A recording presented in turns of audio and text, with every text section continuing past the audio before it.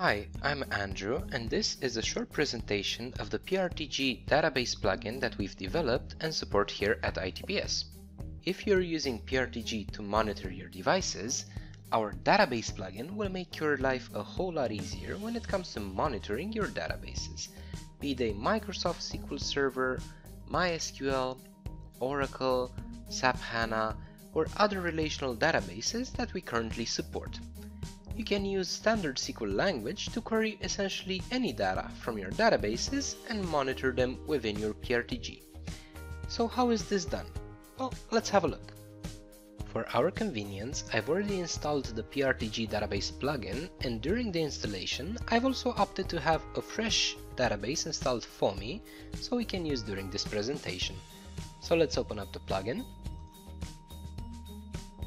the first thing to do within the plugin is to either create a profile for the database you wish to monitor, or in my case, select one that's been created before,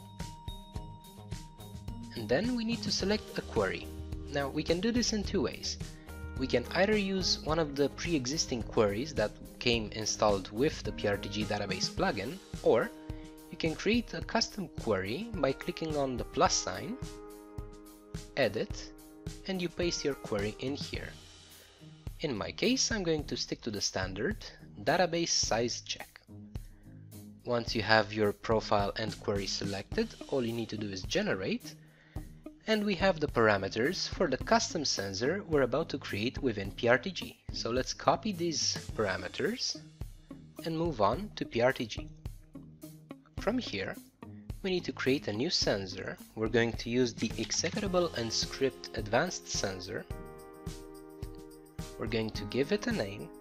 Let's say PRTG DB plugin. We need to select the executable of PRTG DB plugin and paste the parameters we had earlier. The sensor is created. All we need to do is give it a few scans so it takes all the data from the database and there we have it. It has displayed all the information we were looking for. From here you can customize the sensor and the channels however you wish.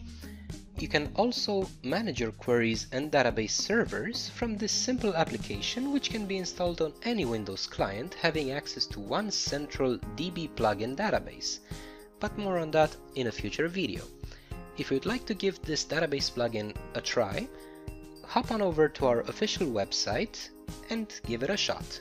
Thank you very much for watching and have a nice day.